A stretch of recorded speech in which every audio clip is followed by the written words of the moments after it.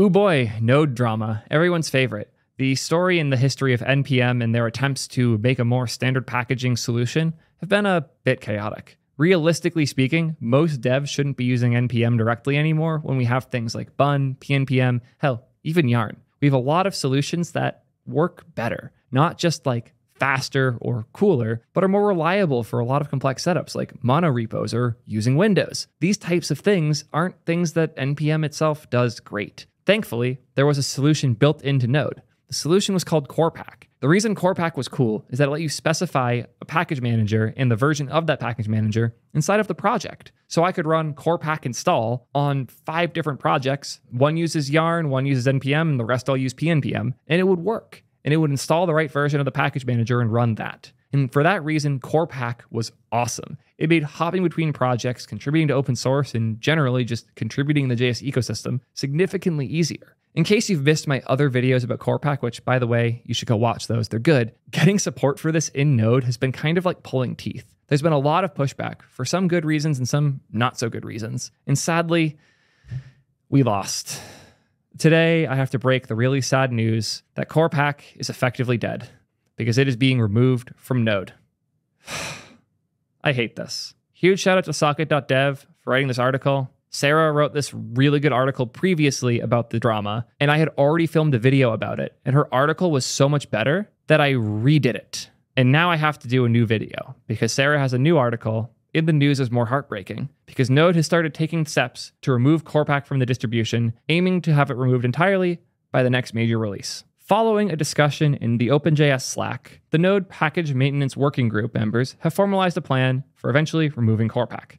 In February, the Node community engaged in a heated debate over a proposal to enable Corepack by default, which was opened in November of 2023. The goal of Corepack by default was to make it so when devs were using Node, they could just Corepack install without having to go configure and set up specific things because Corepack wasn't on. You had to enable it in your Node install. The goal was to make it enabled by default, so more projects could start using CorePack by default. So you would pick NPM, but all your commands would use CorePack, and then devs could just clone your project and be good to go. This discussion included the question of whether NPM would be provided through CorePack moving forward, as some contributors hold the opinion that the eventual goal of its integration was to uncouple Node and NPM from each other. In March, Node's TSC, the Technical Steering Committee, confirmed they had no intention to remove NPM from distribution. This is an important note. For those who don't know, NPM isn't a thing you install separately from Node. NPM is part of Node. They come bundled together. They are two different binaries, but when you install Node, it comes with NPM. When you install NPM, it comes with Node. They are meant to come together.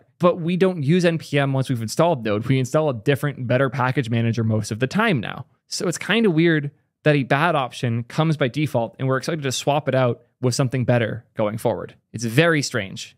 As such, it seemed like Corepack would allow you to just not include NPM. Instead, we would include Corepack. And if the project that you're working on uses NPM, it would install it. If it uses PNPM, it would install it, etc. This would immediately destroy the adoption of NPM because who needs NPM anymore if Corepack makes it just as easy to use other options? This did come at a potential cost, though, and I covered this in the other video, which is that if you just have Node installed and you're using NPM and using everything the stock way, all you have to specify is a node version, and now your build is reproducible. If I have an old project that uses Node 16 and it uses NPM, I can spin up a box with Node 16 and I can install and run that project totally fine. If we use PNPM, I have to also install PNPM and I also have to make sure it's the right version of PNPM, which is annoying. That said, Corepack made it way easier to do such because you could specify the version and the package manager in the package JSON, and now you can use that as the necessary piece to do a reproducible build. But since there are old projects that don't have that, theoretically, this would be a breaking change. But since they already have to bump node versions, it's not a fucking breaking change. I thought this argument was really, really bad. I'm doing my best to state it in good faith and to steelman it, but I think it's bullshit.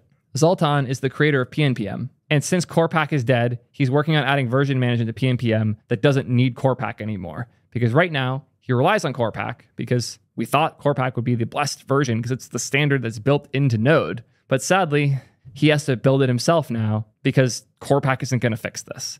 I am excited about this because I've had problems where I was using the wrong PNPM version accidentally, and now he'll be fixing that because he has to. It's just annoying that he tried his hardest to build into the standard, and his solution won't work anymore because the standard's being deprecated because the Node team changed their minds. Back to this. The TSC delegated the decision regarding Corepack to the package maintainers working group, as the discussion evolved. In a PR titled Feature Next Steps for Version Management Progress, the Package Maintenance Working Group members have outlined a roadmap that leads to removing Corepack from the node distribution in the next major. As part of achieving the second goal, which is install Node and a package manager for a local development environment, and following up on the proposal to revise the downloads page, we propose the following next steps.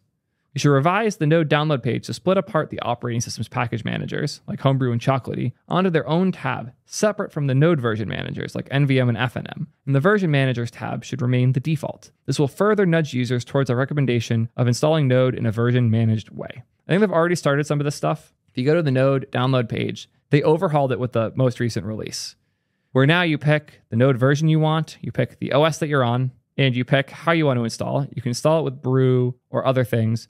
See this though? Homebrew is not a Node package manager. Ensure it's already installed in your system, yada yada. Cool, they do that, but it's nice that the NVM solution here is the default. And also cool that FNM made it in. FNM is my preferred Node version manager. It's just really fast and relatively convenient, and it's more willing to switch node versions for you, where NVM, you have to remind it which version you want to be using. So personally, I prefer FNM.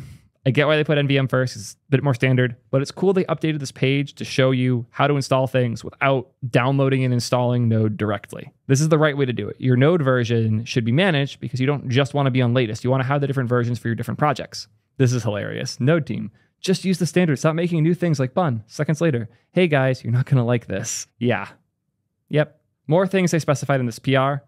On the downloads page, they should add instructions for installing Yarn and PNPM as package managers to use for a project. These instructions should follow whatever recommendation we receive from those maintainers. Corepack's documentation should be moved out of the Node API docs and into its own website, or accessible as a markdown file in the Corepack repo. Corepack's a separate project from Node, and intermingling its documentation within Node is confusing. We don't do that for NPM, even though we distribute that.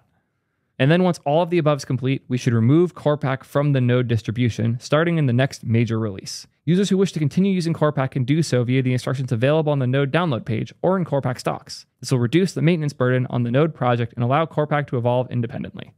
the whole point of Corepack is that it came by default, so we could use it to use whatever we preferred. If it doesn't come by default, is yet another step that makes no sense.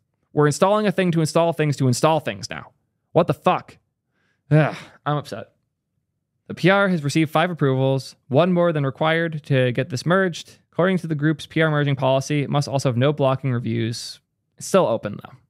It is not merged yet, thankfully. You can see the downvotes and upvotes. Do not go downvote bomb this. I'm not even going to link it in the description. Please don't spam them because I'm making a spicy video. I'm just another guy. I'm probably misrepresenting things here. I'm just giving my opinions as a user of Node and a user of Corepack. I'm upset.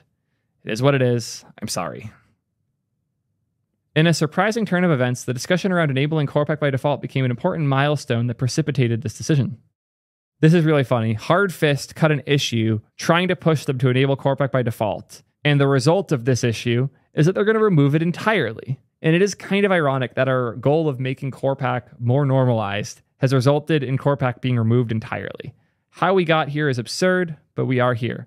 This picture, oh, this was so good. Enable Corepack by default, the dominoes fell, and now we don't get Corepack at all.